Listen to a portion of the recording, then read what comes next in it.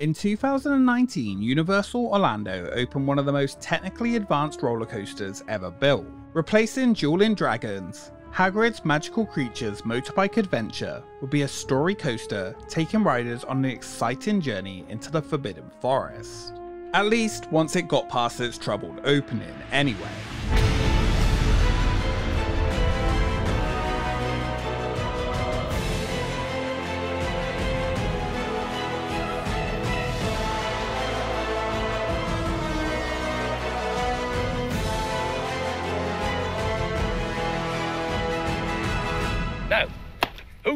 Say hello?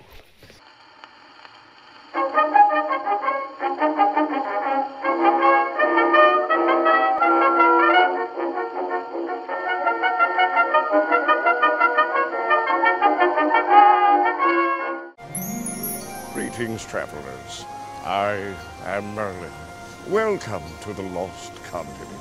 When Islands of Adventure opened in 1999, it gave guests the opportunity to journey through a highly themed entranceway into six different islands, five of which will be based on licensed intellectual properties.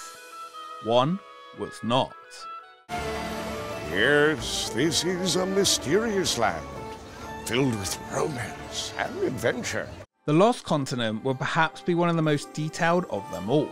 Based around ancient myths and legends, the area was divided into three subsections Sinbad's Bazaar, an Arabian marketplace, the Atlantis esque Lost City, and the medieval forest, Merlinwood, home to not one, but two B&M inverted roller coasters that will be locked in an eternal battle over the marsh outside of Merlinwood.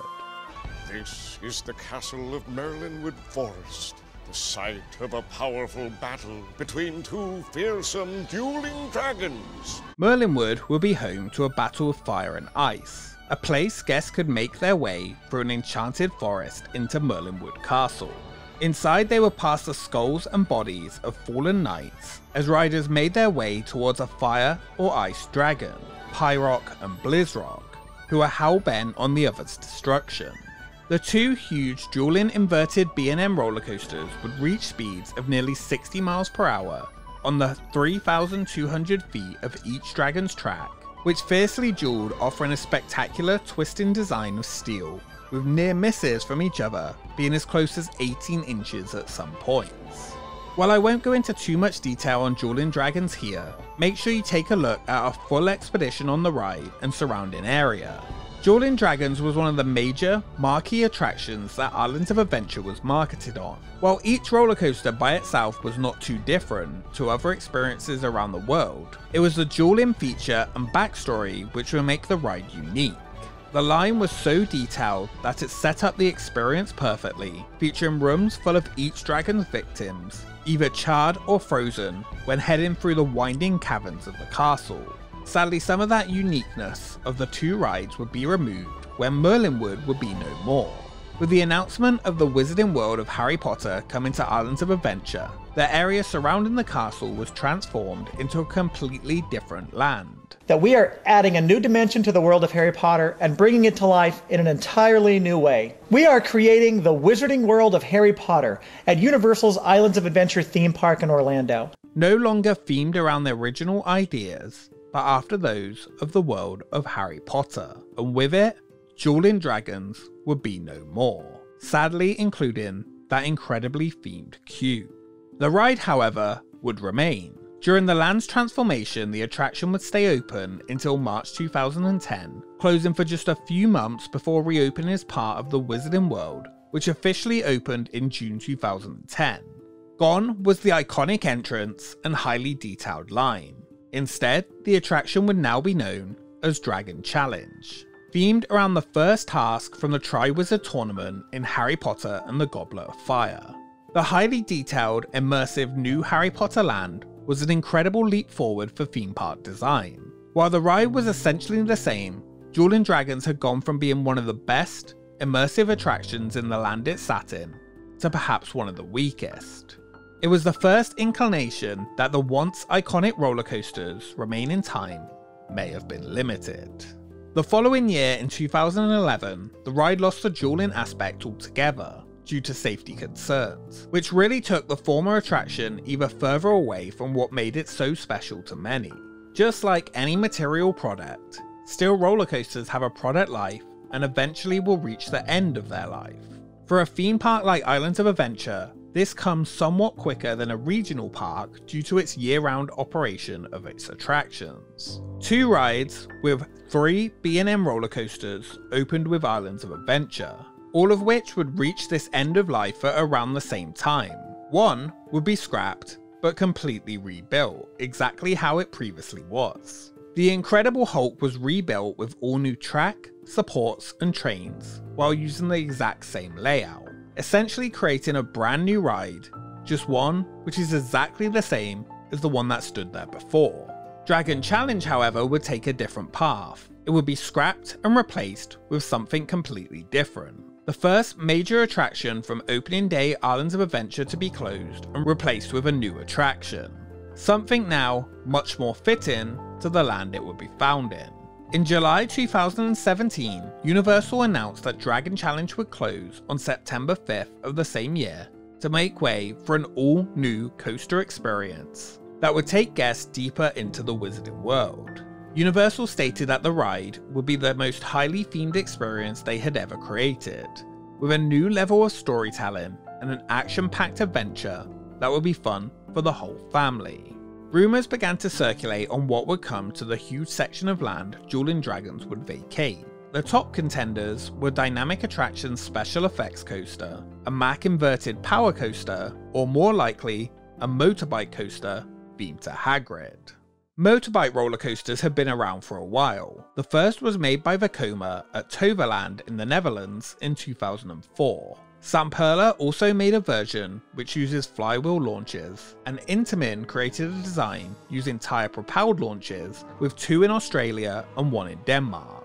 One of the Australian versions made by Intamin, Mick Doohan's Motor Coaster, opened in 2007 and was regularly chosen as one of the worst steel roller coasters in the world, thanks to its boring layout and painful restraints. Universal would choose Intamin to make their new ride.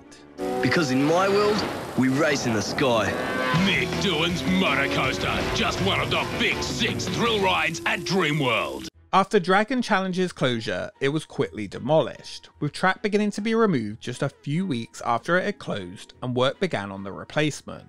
Every aspect of the previous ride was removed except for the station, queue building, and entranceway. Construction on the new attraction began in January 2018, and it wouldn't be until October that year that any more information on the ride would be released. The official Wizarding World website, Pottermore, released a teaser image which offered no details, yet hinted that the new attraction would be located in the Forbidden Forest, as well as featuring magical creatures. Construction continued at a lightning fast pace. Get it? Harry Scar? Lightning? Yeah. And in February 2019, details were released on what would be coming to the park just four months later. Hagrid's Magical Creatures Motorbike Adventure would open on June 13, 2019. The following month, more details were finally given. Dubbed a story coaster, Hagrid's Magical Creatures Motorbike Adventure, you have to call it by its full name every time by the way, would combine a new level of storytelling with innovative coaster technology and rich environments and sets, including an actual forest with more than 1,200 trees. The world's most spellbinding journey is about to take its wildest turn yet. Prepare to face the Forbidden Forest and join Hagrid to encounter the rarest of magical creatures in the epic new addition to the wizarding world of Harry Potter. On the new ride, you would join Hagrid on a journey through the Forbidden Forest, with each guest riding specifically designed magical motorbikes, reaching speeds up to 50 miles per hour, encountering some of the world's rarest magical creatures, and becoming entangled in a thicket of Devil's Snare. Universal stated Hagrid's Magical Creatures Motorbike Adventure would use innovative coaster tech, and that would not be an understatement.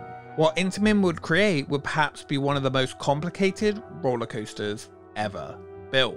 Nothing like the earlier motorbike coasters found around the world. The ride's grand opening was held on June 11, 2019 with multiple Harry Potter casts in attendance.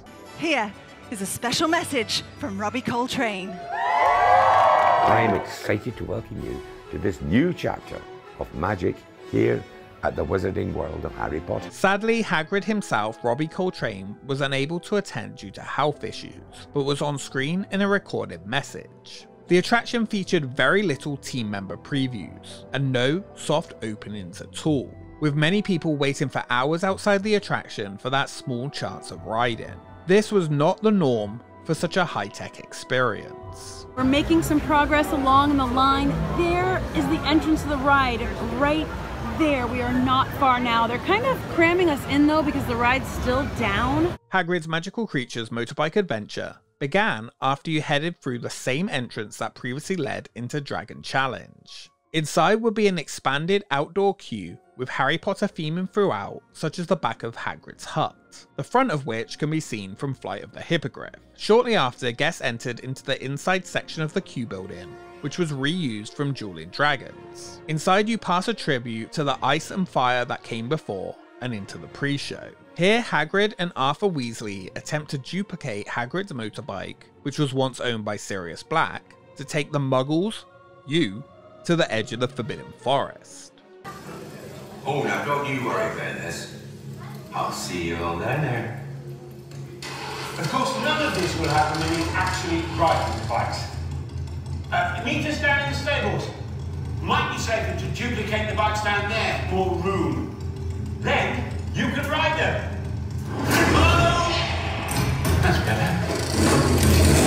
After some classic Arthur and Hagrid shenanigans, the line continues through the same route that it always previously did. This time with some Harry Potter theming throughout, it does not quite live up to the original queue line experience offered in the early years, but it is fitting for this new attraction. The best part of the queue is the final room, which features projections across the ceiling showing different creatures and scenes. Throughout are multiple easter eggs such as the Monster Book of Monsters and Hagrid's gloves in Hagrid's workshop, which is in the room after the long tunnel section. You might even spot a Triwizard Tournament egg if you look hard enough sitting among the various creature eggs, and many many more surprises. The ride's vehicles were unlike previous motorbike coasters, and were in fact more similar to regular roller coaster cars, just highly themed after the motorbike from the movie. Offering two different experiences, the bike and the sidecar, each with a regular lap bar to secure riders, it is much more comfortable than some of the versions which restrain your legs and lower back. This definitely was not the Intamin motorbike coasters of old. With seven rows on each train, they feature speakers that provide music and effects throughout the attraction, including the roar of the vehicles.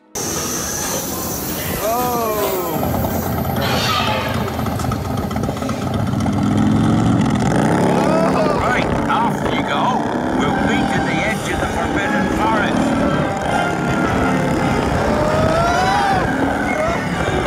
After exiting the station, the ride heads towards an abandoned hut on the edge of the forest to begin the Care of Magical Creatures class. One of the first creatures you see, or, wow, I guess don't see, on the ride are Thestrals, mentioned by Hagrid. Inside the hut, two animatronics sit, one of a blast-ended Skrewt and the other of Hagrid himself.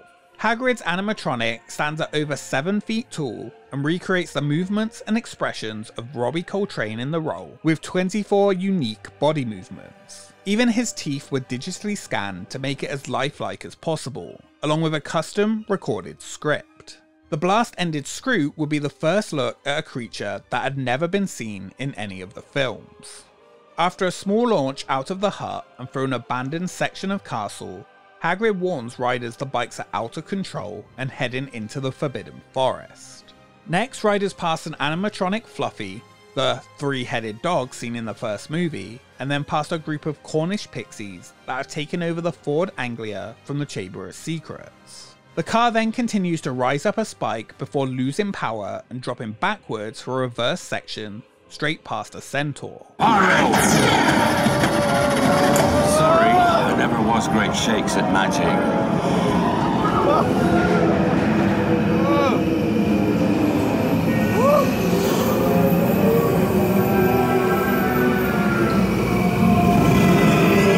Oh, Craigie, you're tangled in Devil's Snare. Repeat, Lumos Solem after me.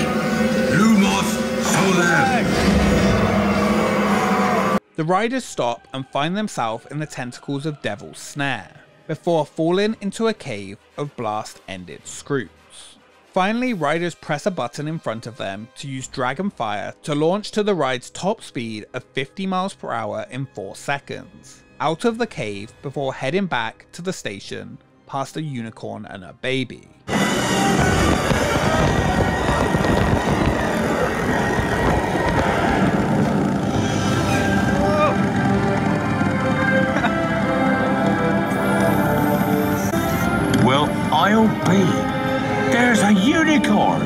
Oh look, she's a mum. Yeah, I got stuck here a lot when it first opened.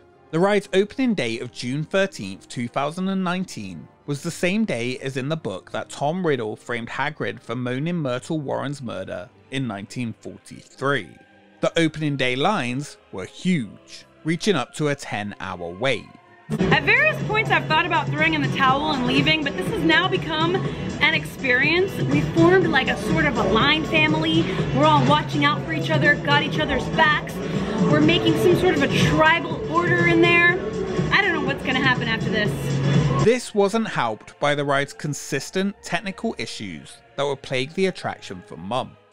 No matter where you looked in the opening weeks and months, there were reports of troubles due to the huge amount of ride downtime it was experiencing. There's no guarantee from this point that we're gonna be able to ride this at all, but we're gonna hang in there and keep trying for a little bit longer. At some point, I really may give up. We're experiencing a slight delay in today's lesson. Our apologies. We should be ready to go shortly.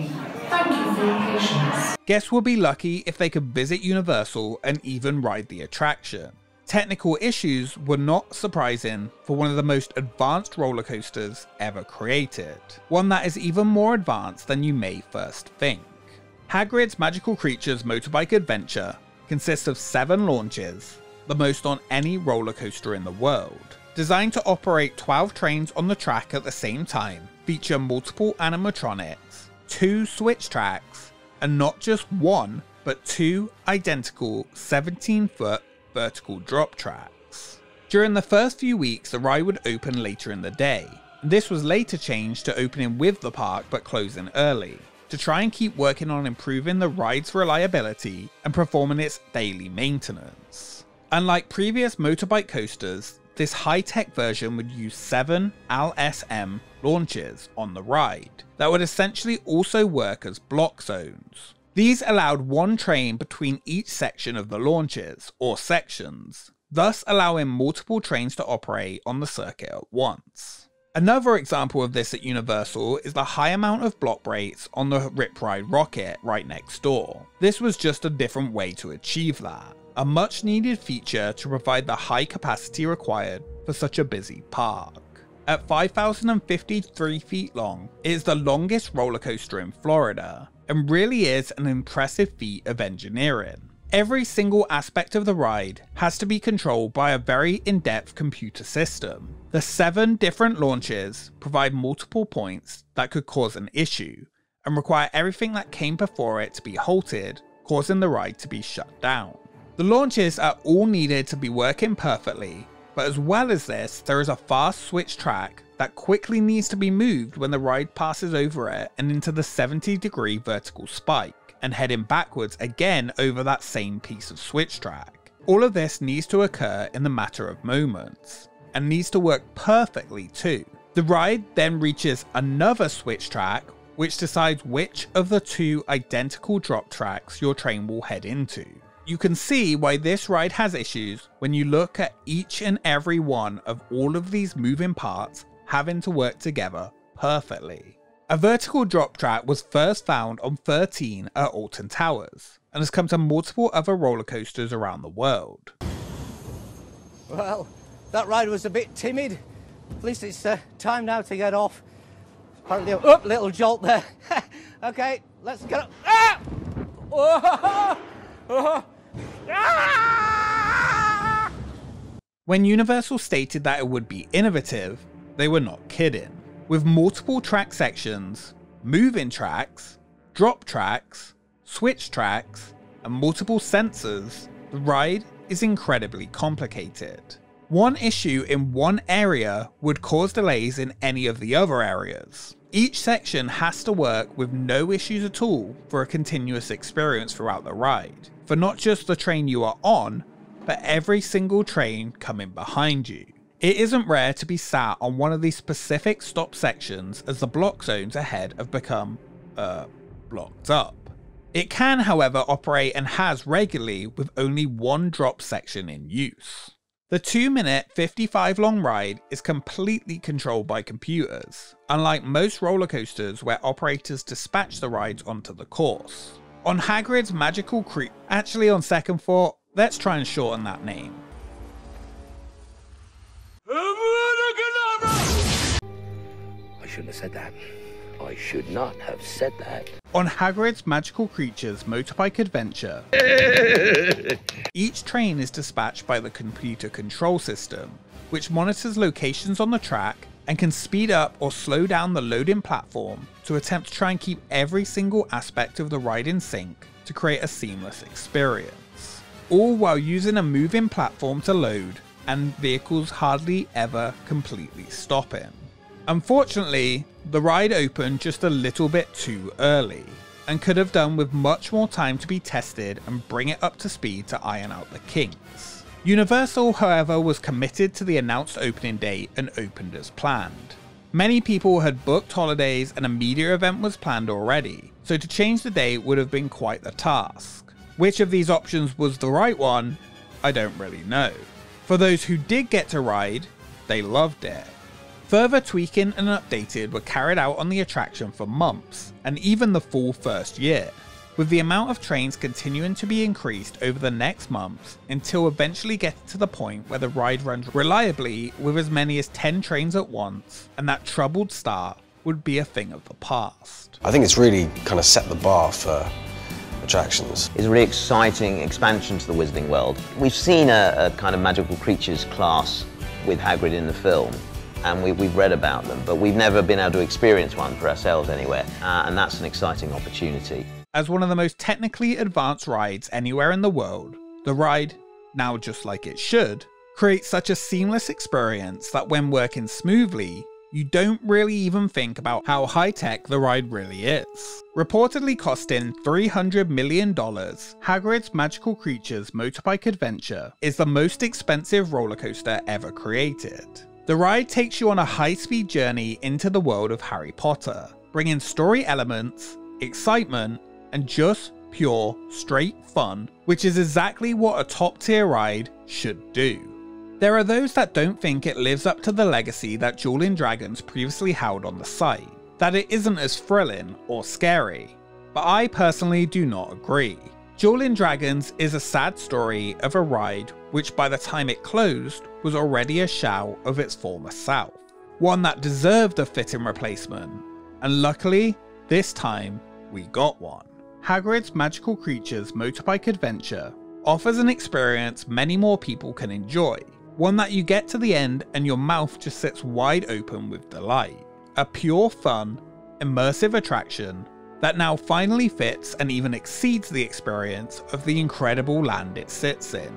For those who want something more thrilling though, we'll get another top class Intamin roller coaster right next door in 2021, giving us the best of both worlds. I love Dueling Dragons and always will, but waiting 9 hours on opening day to ride the latest, greatest attraction, for me, this is one that lived up to the hype. Even if it sadly did have a little bit of a troubled start. No part of Islands of Adventure has changed as much as Merlinwood and the Lost Continent, but you could argue that the core still remains an imaginative land filled with mystery, wonder, and magic, pushing the boundary on theme park attractions. Hagrid's Magical Creatures Motorbike Adventure continues that legacy as one of the greatest theme park attractions ever created. After all, there is no Hogwarts without Hagrid.